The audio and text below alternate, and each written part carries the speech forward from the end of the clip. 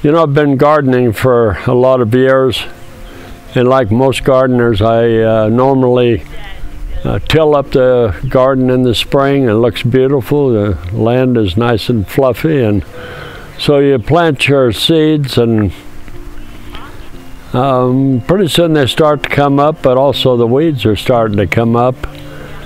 And now, after a month or so, it's hard to tell the weeds from the from the vegetables. And pretty soon the once soft soil is just hard as a rock. And about that point, most of us give up because the weeds have won the battle. Well, I used to use a, a garden uh, spading fork to loosen the ground, and that works pretty good. But I thought, you know, if a guy could come up with one that's wider, that's maybe stronger, that ought to work better. So about five years ago, I came up with a design for the no-till EZ Digger. And it's, uh, it's a little bit unique. There's a lot of broad forks on the market. But this one has removable tines, digging tines. So that's what we have to offer now. Uh, we have a uh, 23 inch uh, digger, EZ Digger.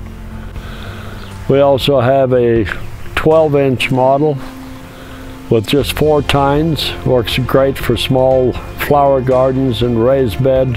Um, I want a really good product. I'm very conscious of quality.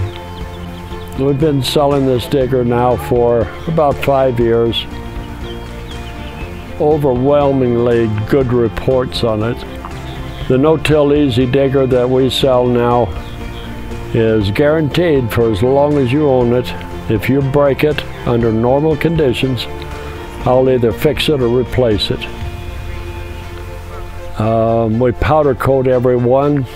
We could get by with painting them, but that's not as good. And uh, quality is top of my list. It's a good product, it works well, it's guaranteed, and I'm proud to offer them to the public.